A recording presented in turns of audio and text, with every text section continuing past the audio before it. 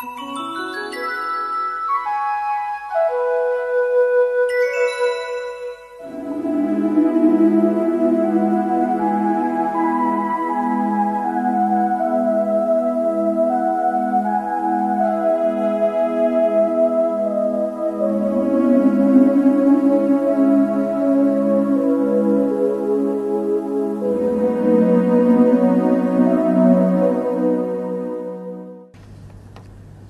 同学问呢，他说：“弟子受无戒以来，他一直清净严守，但是最近呢做了噩梦，梦见杀人。他后来更糟，这境界竟然在现实生活当中啊都要想去杀他，不知道你梦到是谁呀？”这弟子便向佛菩萨求忏悔，可是意念呢，还是一直浮现，啊，很是痛苦。这个样子是否犯了杀戒？啊，是不是弃了杀戒，罪会轻一点？无戒呢，没有犯杀戒，啊，无戒里面的杀生呢，是一定要把他杀死，啊，才算是发善戒，呃，杀戒。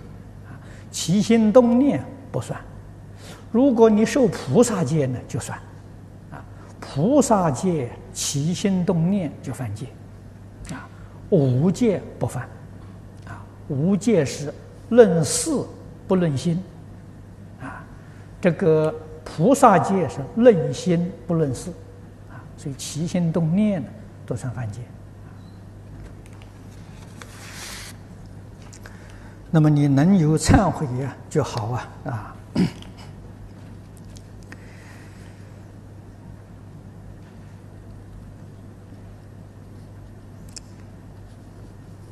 这个是这一位同学问的是求恩报者，善摄诸事啊，这个是取《发起菩萨制要经》里面的讲记啊。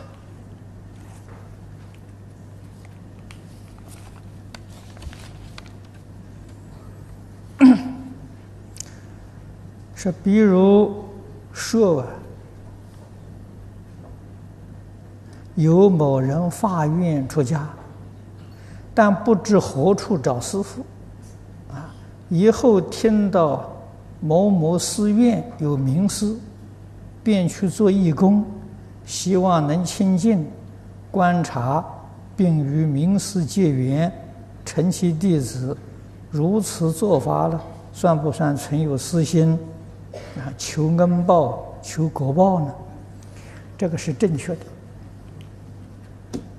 啊，如果发心出家，也未尝不是个好事情。啊，但是出家一定要了解出家的意义。如果对于出家完全不了解，就这样出家了，恐怕以后所作所为呀，违反世尊啊制定了出家的意义，这样就不好了，啊，不如再讲啊，出家呢，一定要做。社会大众的榜样，我们这个呃讲堂这一副对联：学为人师，行为示范，啊，起心动念、言语造作，都是社会大众的楷模，这样出家就无量功德。啊，如果我们做不到，反而不如在家。啊这些道理跟事实，我们都要清楚。所以，真正的善知识啊，不会随便劝人出家的。啊，印光大师一生不劝人出家。我的老师李炳南老居士也一生不劝人出家。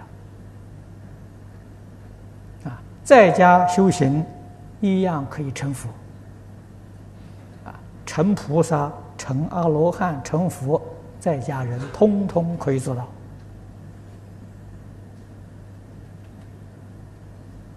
啊，弘法利生，在现在这个时代，在家人做的比出家人还要殊胜。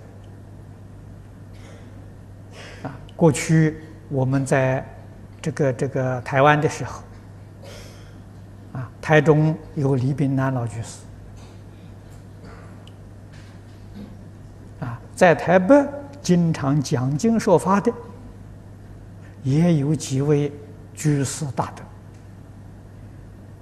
啊那个时候，我们要常常亲近。啊，出家不是一桩容易事情，啊，真正发愿出家，做天人示范，好，这是值得尊敬赞叹的。啊，那么你这样做法呢，正确。啊，必须亲近名师，亲近真善之士。啊，这个清净呢，呃，当然是在这个道场里面呢，住一段时期。啊，在一般总要住半年以上，啊，半年到三年，啊，观察这个地方的老师同学，我们能不能在一起相处？道场生活环境适不适合自己修行？再做最后决定啊！如果贸然出家了，出家之后啊，觉得老师毛病很多啊，同学当中不能相处，这是破活活生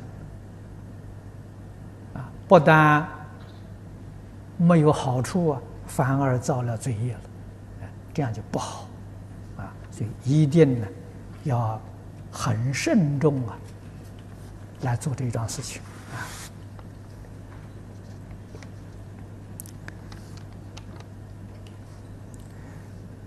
这一位同学问说，《地藏经》的启示里有一段说，功德没有办法给人，只有福德可以送给人。功德一定要自己修学。那前世师傅，我们通常都说，愿以此功德回向。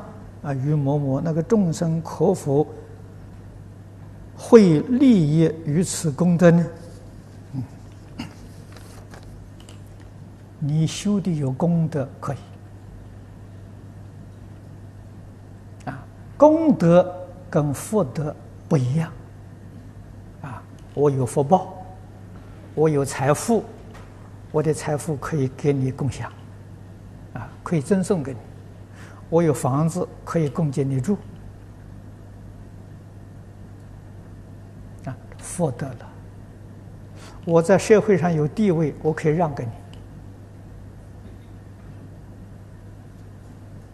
啊，你像释迦牟尼佛舍弃王位，这福德让给别人，安世高大师他是伊朗国王，他做了半年国王。发心出家了，把王位呀让给他的叔父，啊，这就是福德了，可以送给人，功德不行。功德是什么呢？功德是戒定慧啊！我持戒的功德没办法送给你啊！啊，你不持戒，我持戒，我没有办法把我持戒功德送给你，啊，这个做不到的。我得定了，我没有办法把定送给你；我开智慧了，我也没有把办法把智慧呀给你。啊，所以功德没有办法给人，啊，福德可以给人。那我们愿意此功德啊回向给某个人。你是特别修功德，是为他修的啊！这个功德他得到啊！你比如我为我的一个朋友他过世了，我为他念一百部《地藏经》，特别是为他念的。那，不为他呢，我都不念了。为他念的这个功德，他能够得，他得多少呢？《地藏经》上讲的很清楚，七分之一，七分之六自己得了，七分之一才能他才能得到啊！啊，这佛在经上讲的很清楚，特别为他做的那么他所得到的呢？给诸位说，还是福德。啊，还不是功德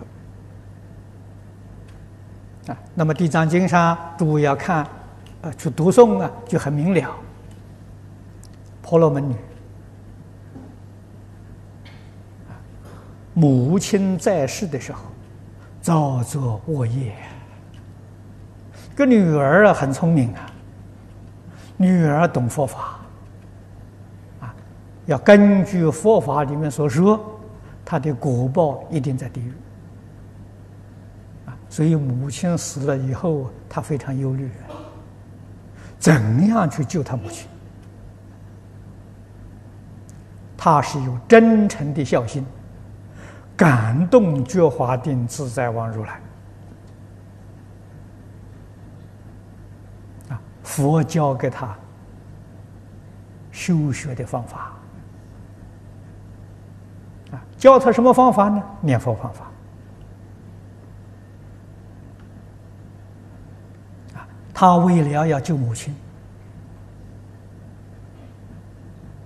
啊，在一天一夜，他自己就成就了。这个就是我们讲的念佛，他成就一心不乱。真诚到极处啊，才有这个果，才有这个效果啊！啊，证得了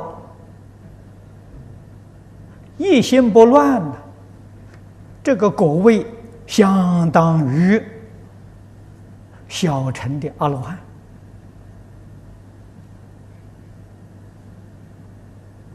大乘法的原教大乘，其性位的菩萨，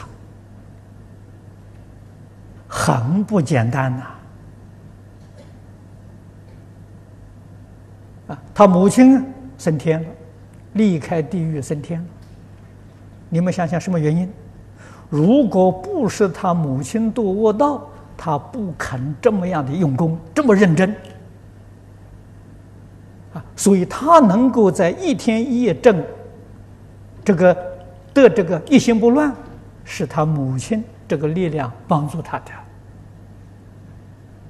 他母亲要不造恶业，要要不不不不死，他也不会那么认真学，他一一辈子也证不了，也得不了一心不乱了。啊，母亲跟他做了正上缘呢，他也真用功，真发奋呢，成就了。母亲能够脱离地狱升天，就得这一份功德，愿以此功德庄严佛净土，来回向他。那么我们要跟这个家亲眷属诵经，啊，有口无心，他得到的非常有限的。如果我们都像婆罗门女一样的时候，那你这个回向给他，他决定超超脱。非常有效啊！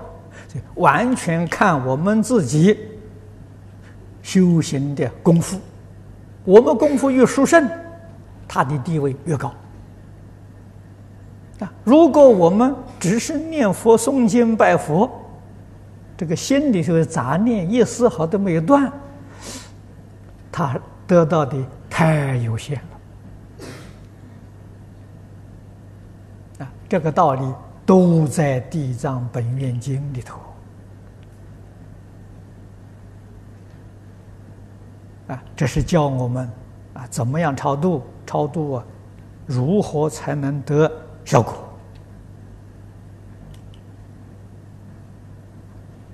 啊，要懂这个道理。啊，那么由此可知，不仅是对别人，更重要的是对自己，要真干。啊，我们自己这一生当中真成就了，啊，真正觉悟了。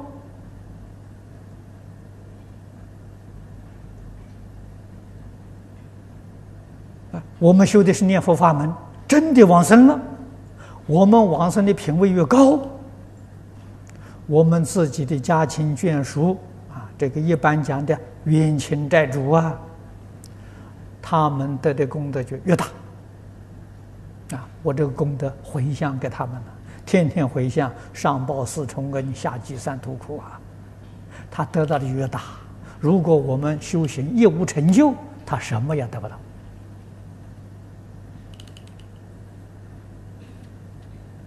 啊一定要靠自己认真努力。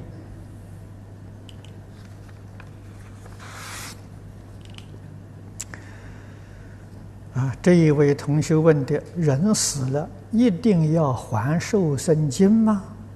投胎前还草木官的钱才能投生，有无此回事？啊，因为出家人都这么这么做，这个没有这个事情。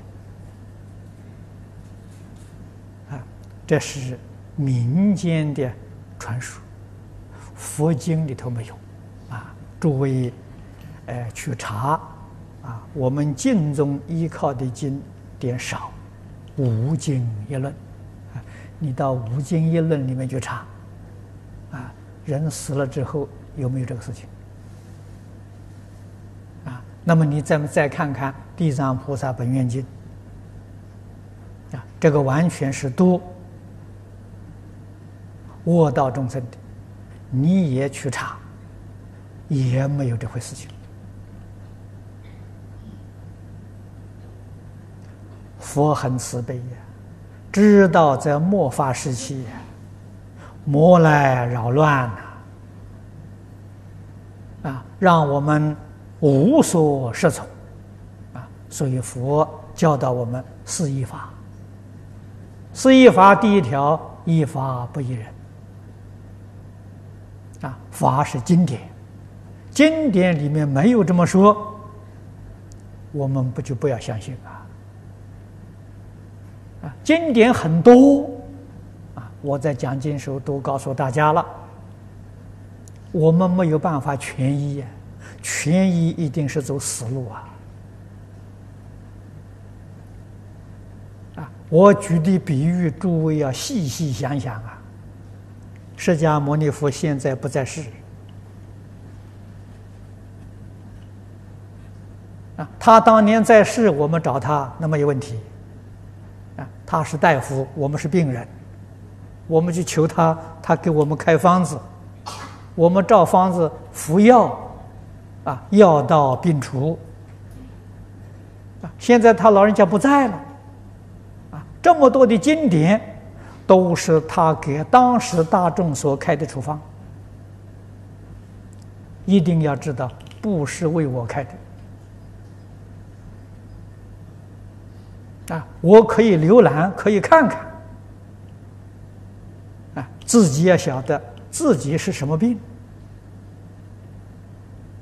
啊！这么多旧的处方当中，我们如何来取舍？不能全收啊！全收是必死无疑！我们只能够啊取一两种方子，试验试验，看看自己有没有效果。我们自己不懂得取舍。佛指示我们一个方针，啊，正法时期戒律成就，相法时期禅定成就，末法时期净土成就。我们今天生在净土，生在这个末法，我们取净土，这个是遵从释迦牟尼佛的指导原则。啊，净土经典有五部经一部论。我们也无需全取，一一种就行啊。这六门当中，哪一门适合自己？啊，自己读起来欢喜，啊，能够理解，依教奉行，啊，一门深入，就能成就。啊，不可以搞太多，搞太多问题都来了。啊，所谓是贪多嚼不烂呐。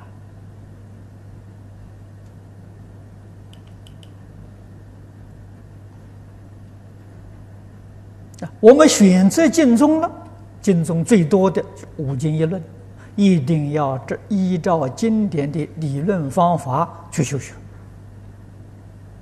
啊，我们自己才能有成就啊。嗯，这位同学问的啊，他第一个问题，他说学人常念弥陀。而不失弥陀妙性，于自灵妙之体深深疑惑，不知承当，是故长夜念佛，仍不免轮回。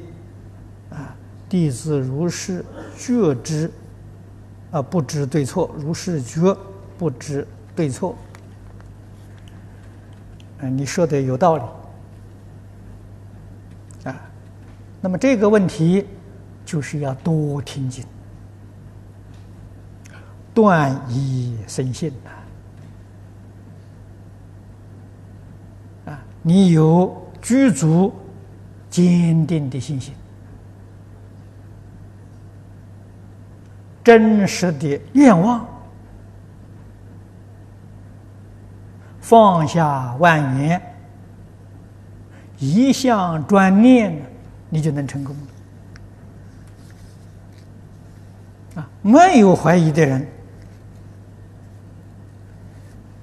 经教能理解更好，不能理解没有妨碍。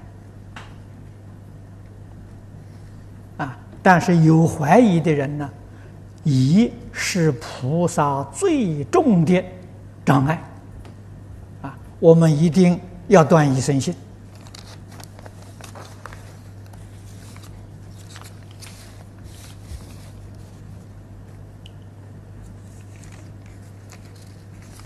释迦牟尼佛也是为了我们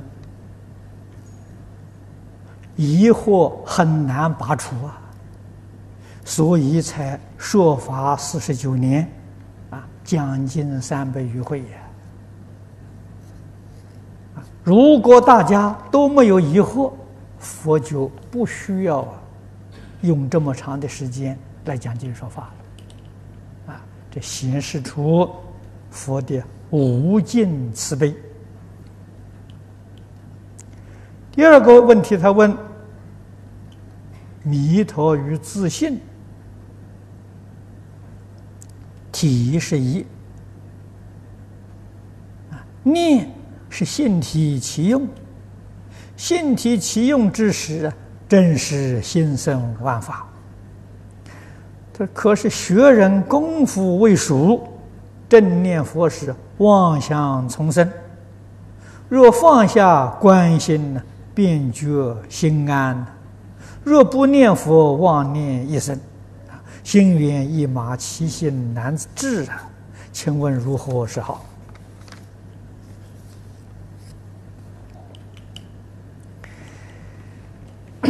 这个心性是很深的学问。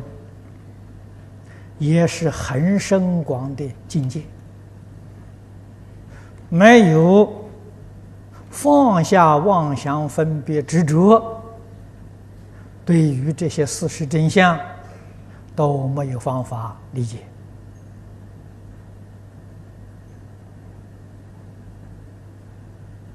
啊。于是我们在初学过程当中，也只是闻佛所说而已。不是自己境界啊！这个时候要看自己的根性。如果是立根，烦恼轻，智慧长，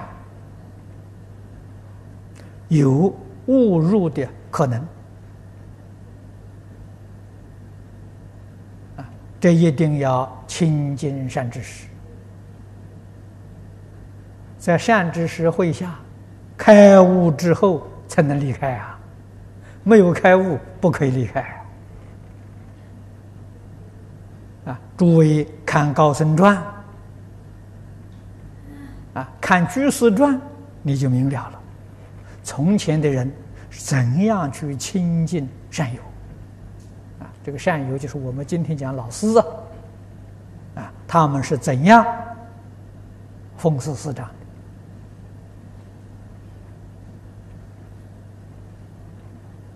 啊，风师师长里面最重要的是依教奉行，对老师。百分之百的信仰，没有一丝毫怀疑。如果对老师有疑惑，你亲近这个老师的时间再长，啊，一百年、两百年、三百年都没有，你不会开悟。啊，为什么呢？这个疑惑障碍了悟门，是这么个道理。啊，什么人最容易开悟呢？一丝毫疑惑都没有。啊，他这个悟门当中没有堵塞，所以他很容易开悟。啊，那么由此可知，我们对善知识、对老师常常有妄想、分别、执着，这就是我们自己亲近善知识而不能开悟的真正原因。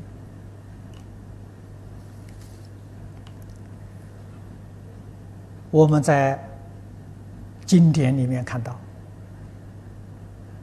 在古人著书里面看到，老师不一定开悟了，学生开悟，这个事情常有啊。老师为什么没有开悟呢？老师能说不能行，他讲的没错，他做不到。可是学生呢，听了之后啊，他听懂了，他能行，所以学生开悟了。啊，这是中国谚语里面常讲啊，“青出于蓝而胜于蓝。”这是说老师，这个学生跟老师学的，结果超出老师太多太多啊！老师远远比不上啊！他何以能超出呢？一个能行，一个不能行，关键在此地啊！但是这个学生对老师百分之百的信仰。尊敬，一丝毫怀疑都没有。他悟门里头没有障碍，没有堵塞啊。啊，老师会虽然会讲，他的妄想分别执着没有完全放下。啊，所以天台大师说的好啊，能说不能行。啊，他所讲的一点都不错。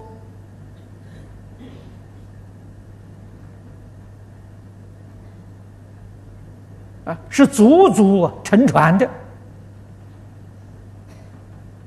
说的不错。他有没有悟呢？也有悟，小悟，不是大悟。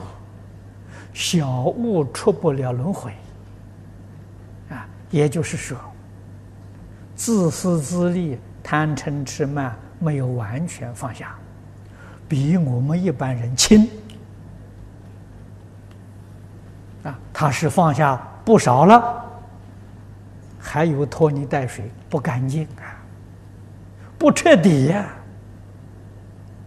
所以他出不了轮回啊。学生跟他学啊，根比他利，学生放下比他多，比他彻底，学生正果了，学生开悟了，啊，这就是青出于蓝而胜于蓝，啊，这个学生尊不尊敬老师呢？永远尊敬老师，不是老师协助，他成就不了。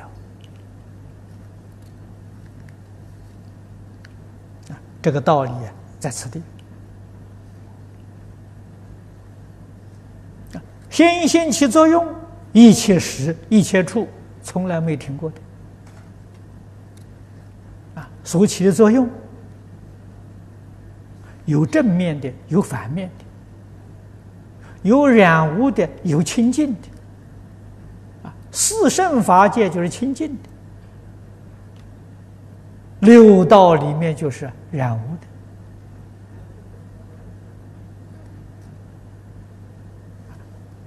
我们放下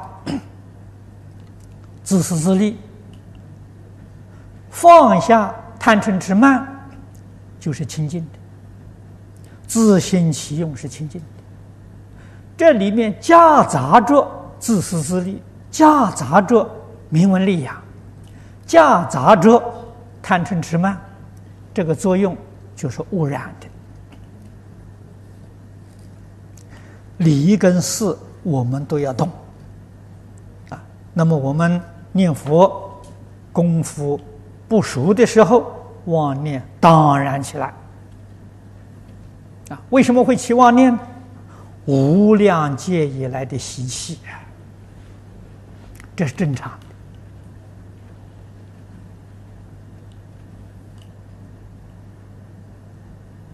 过去诸佛菩萨在没有成就的时候，跟我们也一样啊。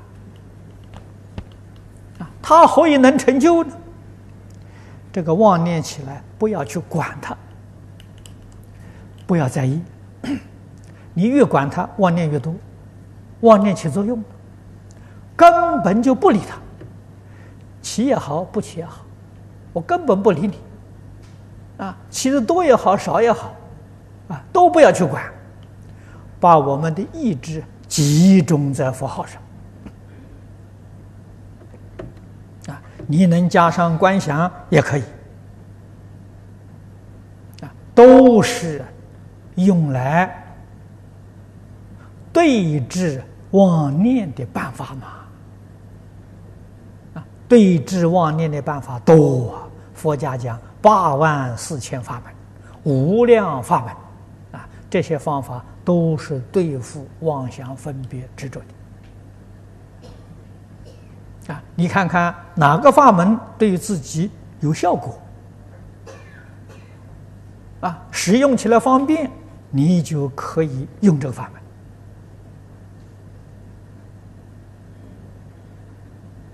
门啊。用一段时期，也可以能够再换一个法门啊。但是啊，原则。是决定有效，能帮助自己减少烦恼、增长智慧，这就对了。啊，如果你选的法门呢，烦恼控制不住，妄念还更多，这个法门对自己不适合。好像我们生病去吃药试试，这药吃了没效果，我们立刻就会停止。就会再去找别的修学法门，一佛如是。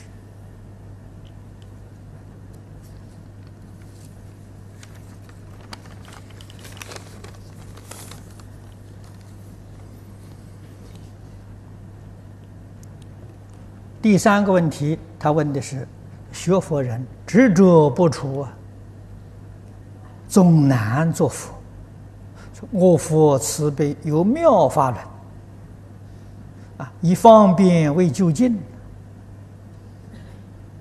啊，教令专制念佛，诚不退转，同成佛道。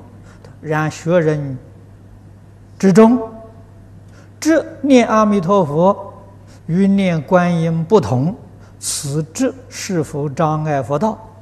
若有障碍，如何使令解脱？成就菩提之道。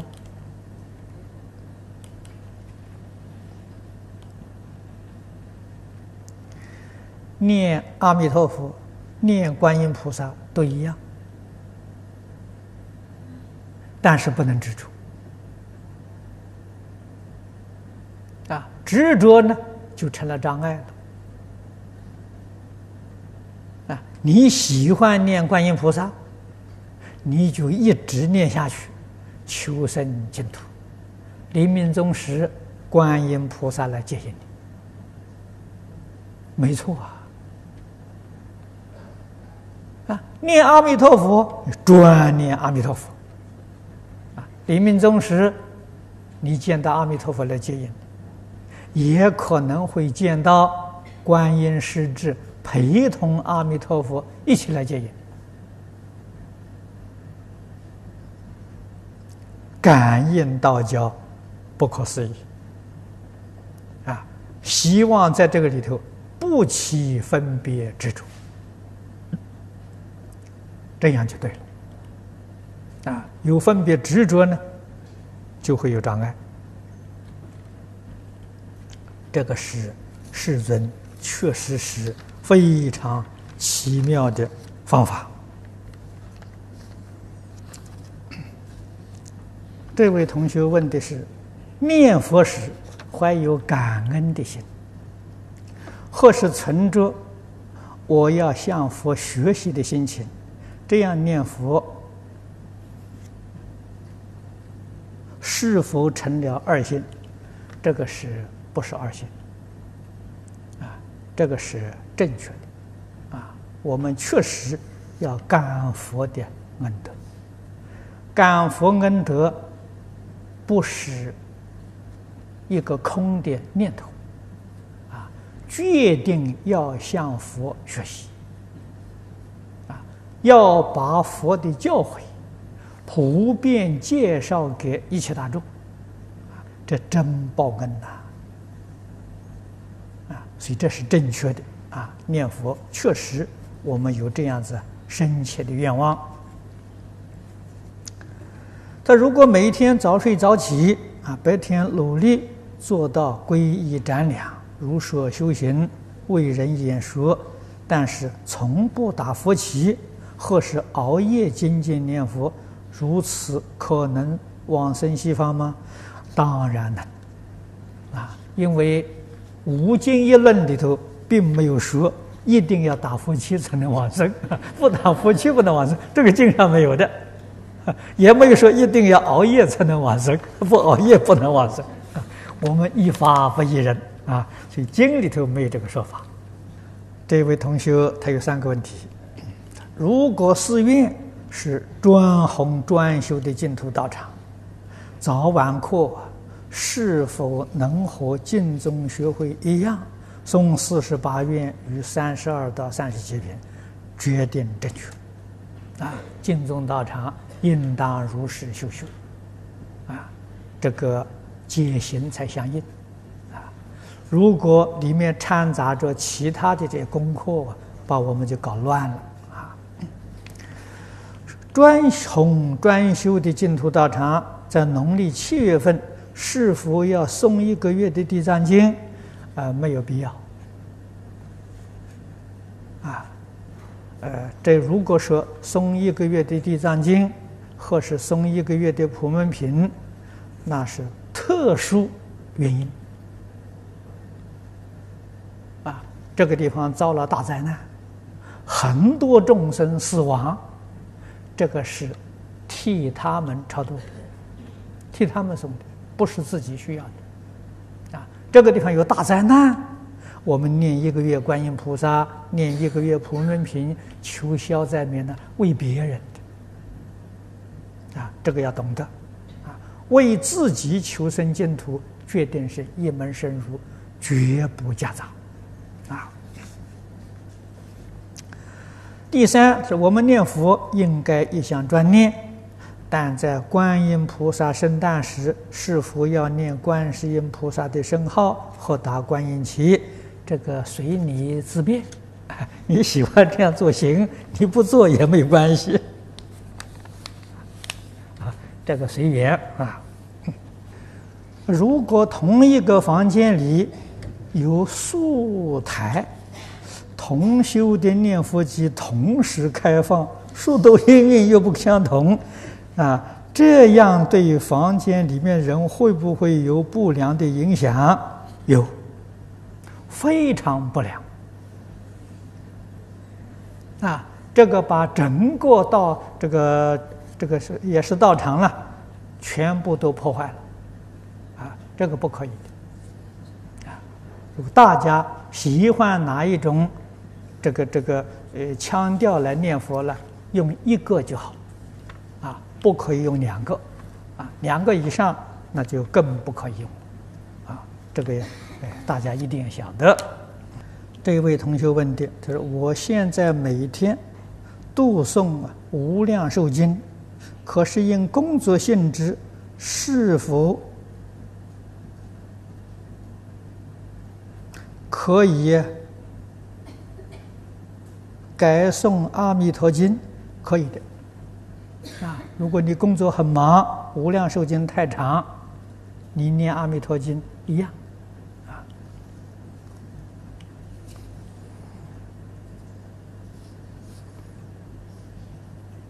这位同学问的：“修净土法门可不可以大拜啊？这个密宗的拜法，你在家里可以，啊，在一般道场不需要，啊，免得扰乱别人的这个这个这个进修，啊，你自己在家里面行，啊，可以。这个大拜对于呃身体运动有好处，啊。第二呢，佛旗。居士们惧怕主法法师啊，用不着害怕吗？是不是这个主持法师太严了？啊，只要他主其如法多好，他要不如法，我们就不请他嘛。啊，另外请一个不害怕的，为什么请个害怕的呢？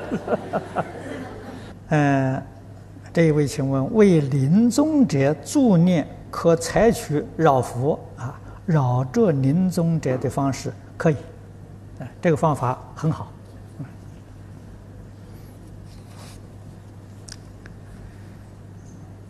作念弥陀圣号时，身体会很自然随着左右摆动，会不会很不尊重？尤其是昏沉时，啊，晃一晃似乎能提醒。但共修啊，啊，共修等会不会扰乱别人？这要看当时的环境，啊，看当时环境，这个你的动作，呃，不太多，啊，不太大，大概对于邻座的同修不会产生妨碍。啊如果动作太频繁了，太多了，你扰乱秩序了，啊，那么在这个时候啊，你可以退出，啊，外面走走啊，调调心，调调身，然后再进念佛堂，啊，这样就好。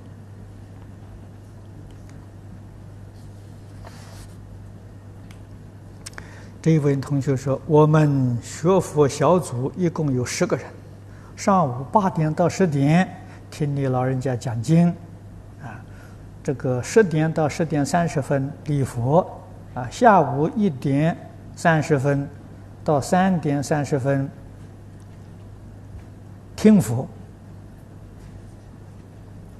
啊，听佛念佛了，啊，晚上七点到九点念佛，啊，早晚课自己安排。这个很好啊，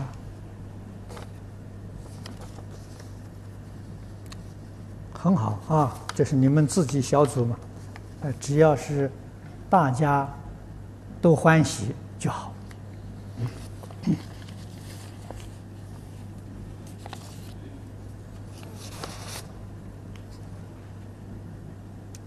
这位同学问的，他说：“弟子自从受菩萨戒后。”严持戒条，处处小心谨慎。